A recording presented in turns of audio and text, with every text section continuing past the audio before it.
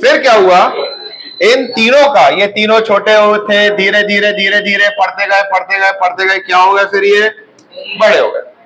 अब बड़े हो गए तो फिर इनको कहा एडमिशन मिल गया बेटा? कॉलेज में। अब अक्सर लोग कॉलेज जाके बिगड़ जाते हैं।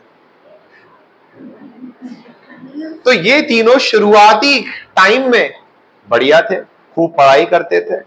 बट धीरे धीरे धीरे धीरे जो कैलविन भाई सब थे इनका ध्यान इधर उधर जाने लगा। कहा जाने लगा बेटा? इधर उधर। समझते हो ना, इधर उधर? तो पढ़ाई लिखाई करने के बाद वक्त आया फाइनल एग्ज़ाम का। तीनों का एग्ज़ाम हुआ और तीनों के तीनों में से सेल्सियस और फेरनाइट ये दोनों उस एग्ज़ाम में क्या हो गए? और कैलविन भाई सब क्या हो गए?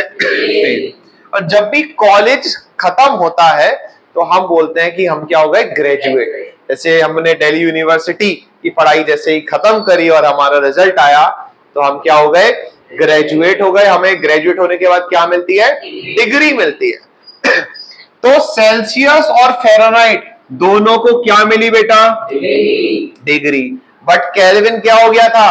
फेल तो कैलविन को कोई डिग्री इसीलिए आज बेटा इनकी दोस्ती की दाग दी जाती है।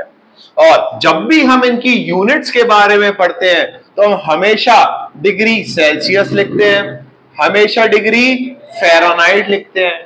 But Kelvin was not graduated because he failed the exam, so he didn't got any degree. And that's why we write only Kelvin.